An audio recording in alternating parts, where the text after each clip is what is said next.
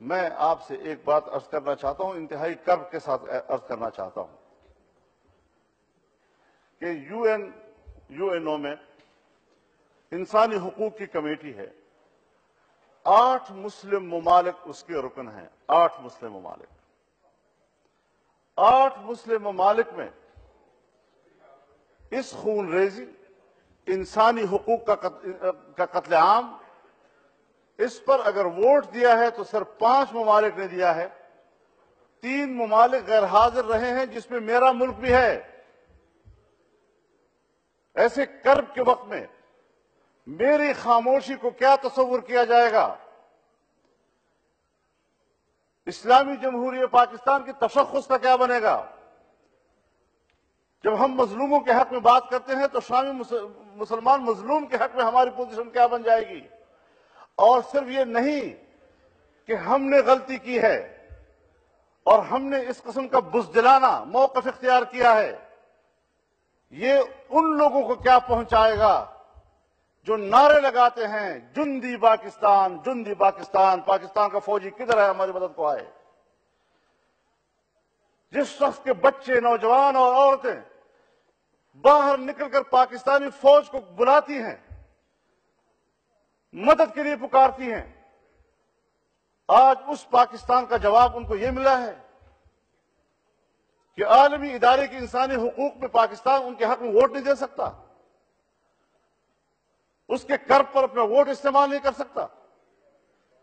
میں سمجھتا ہوں، وزیر خارجہ تشریف فرما ہے، اس کا نوٹس لینا چاہیے۔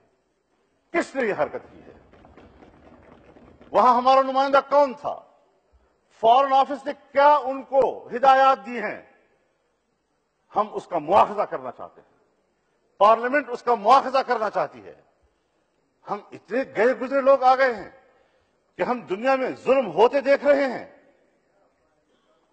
جناب اسپیکر، اللہ رب العزت نے قرآن کریم میں میرا نام رکھا ہے۔ شہداء تکون شہداء علی الناس، تم وہ امت ہو جو ساری انسانیت پر گواہ رہو گے۔ شہداء کے معنی ہے شہداء جمع ہے شاہد کی۔ اور شاہد کہتے ہیں گواہ کو۔ اور گواہ اسے کہتے ہیں کہ جو شخص جو چیز اپنی آنکھ سے دیکھ رہا ہے، زبان سے اسی طرح بیان کرے۔ اگر میں ظلم کو دیکھ رہا ہوں کرب کو محسوس کر رہا ہوں اور زبان سے اس کا اظہار نہیں کر رہا۔ میں تو اللہ کی اس کتاب کو اور مجھے جو اس نے خطاب دیا ہے، اس کو جھٹلا رہا ہوں۔ کہاں گیا میرا وہ حق؟ اس امت مرحومہ کو، اس امت مسلمہ کو۔ ہوا سماکم المسلمین۔ ملت ابیکم ابراہیم۔ ہوا سماکم المسلمین۔ ابراہیم علیہ السلام نے ہمیں مسلمان کا خطاب دیا۔ من قبل وفی هذا۔ اس سے قبل جو امت گزری ہیں اس میں بھی ہمارا نام مسلمان تھا اور آج بھی ہمارا نام مسلمان ہے۔ لیکون الرسول لیکون الرسول علیکم شہیدہ تاکہ پیغمبر تم پر گواہ رہے۔ وہ تکون شہداء الناس اور تم پوری انسانیت پر گواہ رہو۔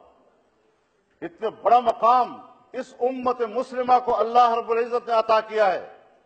آج ہم کہاں گر گئے ہیں اس مقام سے؟ جہاں ہم دنیا میں کسی فورم پر حق نہیں کہہ سکتے۔ اتنا تو کہہ سکتے ہیں کہ یہ ظلم ہے۔ رات ہے تو رات کہو اس کو۔ دن ہے تو جرت سے اس کو کہو کہ یہ دن ہے۔